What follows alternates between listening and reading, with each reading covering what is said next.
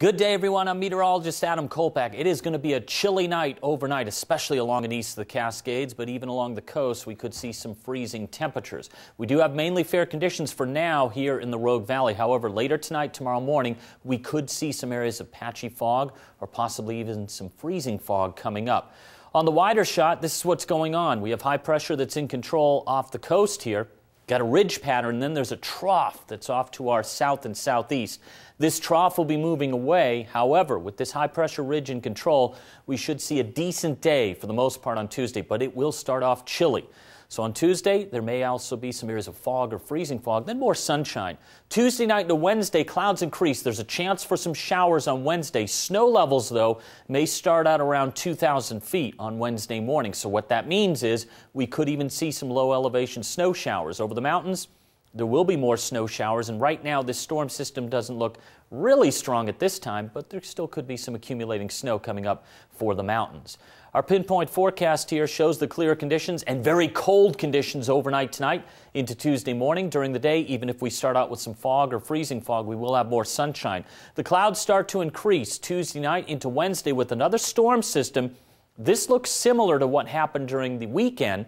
There's going to be some snow showers over the Cascades, over lower, lower elevations west of the Cascades. It should be mainly rain showers. However, it could even start out as some wet snow showers. Over the Cascades, the accumulating snow will diminish into the afternoon on Tuesday, or I should say Wednesday, and then we start to uh, dry out later Wednesday night into Thursday. Our forecast for the coast, I did talk about the cold temperatures, lows from the upper 20s through the 30s. Because of the cold temperatures, a freeze warning is in effect from 10 p.m. tonight until 9 a.m. Tuesday for the coastal areas of Coos County. North Bend, I have a low at 30, 53 for the high, 38 and 59 for Brookings. There could also be some areas of frost all the way down towards Bandon and possibly even into parts of Curry County.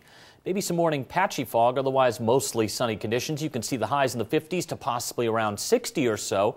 Moving inland, it gets chillier with low temperatures in the teens and 20s and highs generally in the 50s to possibly around 60. Again, it's a chilly start, but we warm up uh, pretty decently into the uh, afternoon. I have 56 for Medford, 26 for the low. 19 and 52 for Yreka. Again, remember, we could start out with some patchy areas of fog or freezing fog Tuesday morning. East of the Cascades, chillier still. Lows in the single numbers and teens. Highs generally in the 40s to possibly around 50. I have it in the 30s up towards Crater Lake with the low at 9.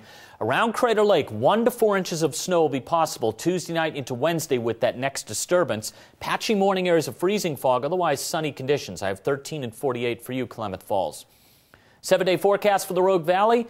Even if we start out with some morning freezing fog or low clouds, we'll see more sunshine during the day. There's a chance for showers on Wednesday and also a possibility during the morning of maybe a few wet snow showers. Another chance for showers on Sunday. You can see the drying trend uh, Thursday, Friday, and Saturday with more sunshine, even if we start out with some morning airs of low clouds or fog. Tuesday looking good, Klamath Basin. Chilly starts though.